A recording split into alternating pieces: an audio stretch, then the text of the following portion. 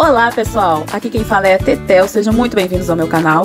Mais uma história vai começar, mas antes disso não esqueça de fazer sua inscrição no canal, dar seu like e compartilhar com os amigos. Agora vem comigo conhecer a história O Sapo no Inverno.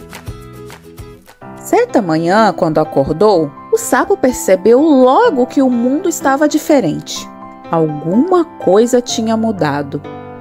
Foi à janela e ficou espantado ao ver que estava tudo completamente branco. Correu lá para fora confuso. Havia neve por todo lado, escorregava debaixo dos pés. De repente, ele sentiu-se a cair para trás, pela encosta abaixo, para dentro do rio. Mas o rio estava gelado e o sapo ficou estatelado em cima do gelo frio e duro. Não há água, não vou poder lavar-me, pensou ele, chocado. A tremer de frio, sentou-se na margem. Então apareceu a pata. Olá, sapo, disse ela. Que tempo magnífico! Vens patinar? Não, estou gelado, respondeu o sapo. Mas patinar faz-te bem, disse a pata. Eu ensino-te. A pata deu ao sapo os patinhos e o cachecol. Empurrou e ele deslizou rapidamente pelo gelo. Mas por pouco tempo. Caiu logo. Não estás a gostar? perguntou a pata. Mas o sapo estava a bater o dente e quase congelado. Tu tens um casaco de penas quentinho. Mas eu sou só um sapo pelado, disse ele. Tens razão, disse a pata. É melhor ficares com o meu cachecol. Eu tenho de me ir embora. Depois apareceu o porco com um cesto de lenha às costas. Não estás gelado, porco? perguntou o sapo. Gelado? disse o porco. Não! Eu estou a apreciar o ar fresco e saudável. O inverno é a estação mais bonita de todas. Tu tens uma bela camada de gordura para te manter quente. Mas e eu? Que é que eu tenho? Pobre sapo, pensou o porco. Quem me dera poder ajudá-lo. Um, dois, um, dois. Apareceu a lebre, andava a correr na neve. Viva! gritou ela alegremente. O desporto da saúde, viva o desporto! Por que não vês também, sapo? Manter a forma é divertido. Estou gelado, disse o sapo.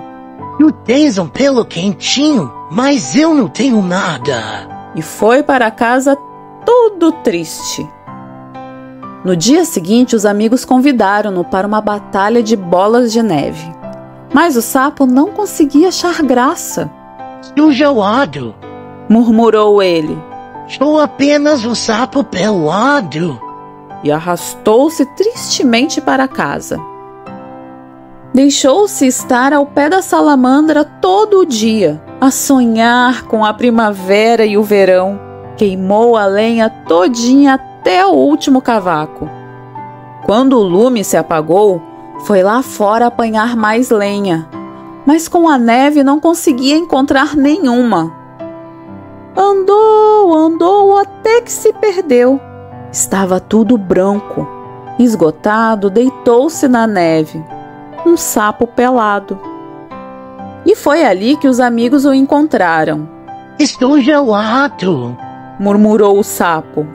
Vamos, disse a lebre. Com todo cuidado, levaram-no para casa e meteram-no na cama. A lebre foi apanhar lenha e acendeu o lume. O porco fez uma rica sopinha, enquanto a pata fazia companhia ao sapo.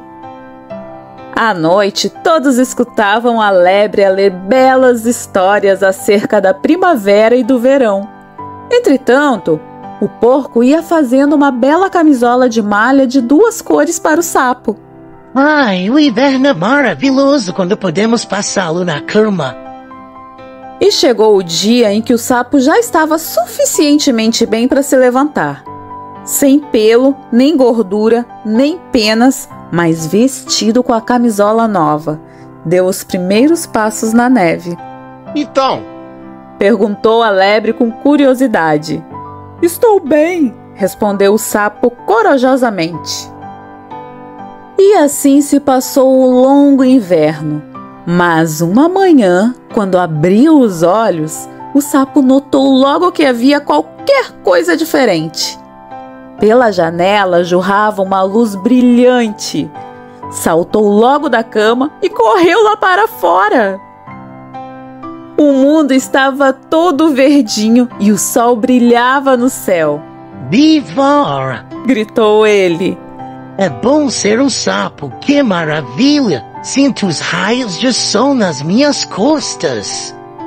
Os amigos ficaram contentes por ver o sapo tão animado. que seria de nós sem o sapo? Riu-se a lebre.